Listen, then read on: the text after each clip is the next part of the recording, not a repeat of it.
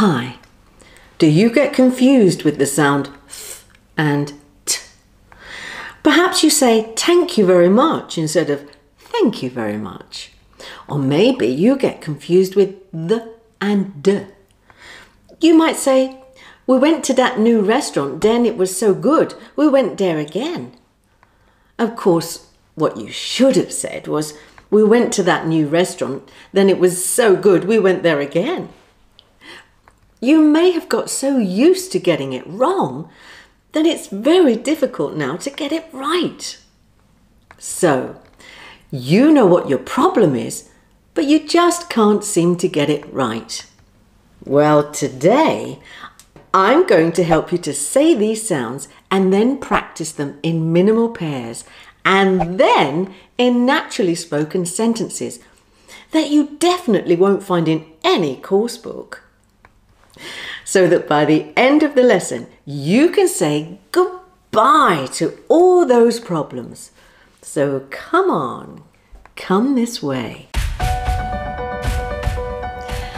So let's start with the sound th.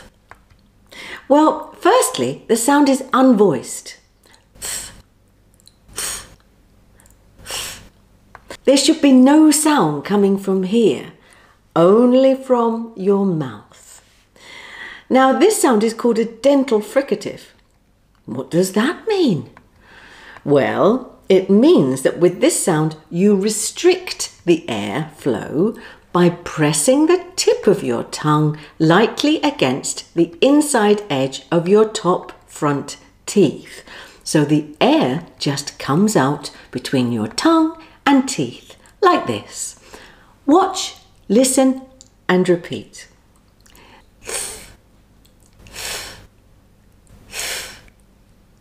Remember, there's no voice.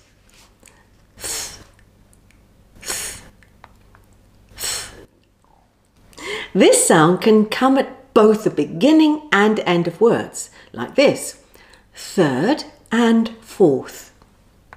Got that? So now it's time to move on to the t sound. This sound is also unvoiced, but the tip of the tongue is further back and just taps on the alveolar ridge, which is just behind the top front teeth. However, this is a plosive. And what does that mean? Well, it means there is a build-up of air pressure before the sound is released. But immediately after the release, the plosive sound is finished. So it's a very quick sound, like this. Watch, listen, and repeat. T, t, t, t. Remember, it's unvoiced, and this sound comes at both the beginning and ends of words, like the words night and time. So now it's time for some minimal pairs practice. Watch, listen, and repeat. Thin, tin, thin, tin. Thank, tank, thank, tank. Three, tree, three, tree. Fourth, fought fourth, fought, north, naught, north, naught. Okay? Now let's move on to the sound the. Well, unlike which is unvoiced, this one is voiced. But it's still called a dental fricative because the sound is produced by friction by restricting the airflow through the tongue and the teeth. So the only difference is that this sound, the, is voiced. The tip of your tongue is in exactly the same place for both sounds. Remember, you press the tip of your tongue lightly against the inside edge of your top front teeth so that the airstream is just able to flow in between tongue and teeth, which produces the friction. Now, try turning your voice on and off like this. Watch, listen, and repeat. The, the, the, the. Good. Let's move on to d. This is voiced and it's also a plosive like the sound t. Remember, a plosive is when there is a build-up of air pressure before the sound is released. The only difference between the two sounds t and d is that t is unvoiced and d is voiced. Simple. Remember, the tip of the tongue taps the alveolar ridge which is immediately behind your upper front teeth. So you block the airstream with the tip of your tongue on the alveolar ridge. Then the air is released with the sound.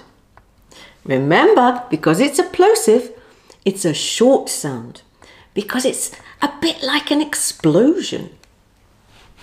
Watch, listen, and repeat.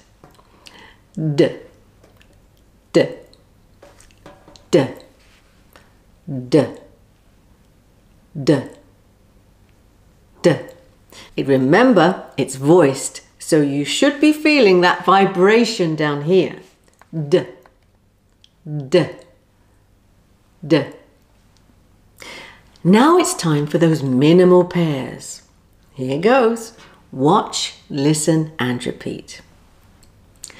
There, there, there there, then, den, then, den, than, dan, than, dan, though, dough, though, dough, breathe, breed breathe, breed, worthy, wordy, worthy, wordy.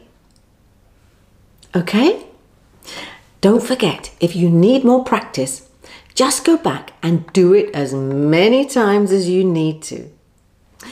So, now here's my short conversation. Remember, by practicing this conversation and saying it exactly like me will help you to overcome your pronunciation problems. Listen, watch, and repeat as many times as you need to. Hello, Jenny. Uh, yes. It's Jane. Oh, hello, Jane. You will never guess what's happened this time, Jen. No, what is it this time? Well, you know Dan, who lives at number 43. Um, you know, the really good looking one. Looks like Daniel Craig from the James Bond movies. Oh, yes, I know. I thought he lived at number 38. Oh, never mind. Go on. Well, Jen, he's had a bad accident. He borrowed my ladder, you know, the really big one, because he wanted to clean his windows. You know, those ones right at the top. Uh, yes, go on. Well, they are filthy, Jen, honestly. Have you ever noticed them? No, Jane, can't say I have. Go on. Well, he was cleaning the windows when the ladder slipped and smashed right through his greenhouse. Oh no, what happened to him? Well, he was left dangling from the balcony, shouting, Help! Help!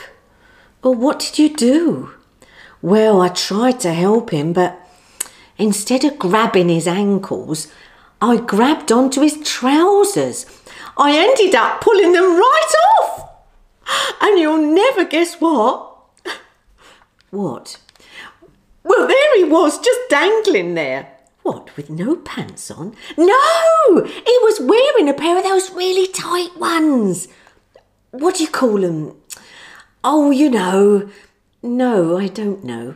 Um, budgie smugglers. And they had a picture of Rudolph the reindeer on them with a nose. They kept lighting up. All I could see was his bottom with a nose that kept blinking on and off. So, what happened to him? He's my new Christmas decoration. Well, I hope you enjoyed that. For more pronunciation, just go here. Until then, love and peace.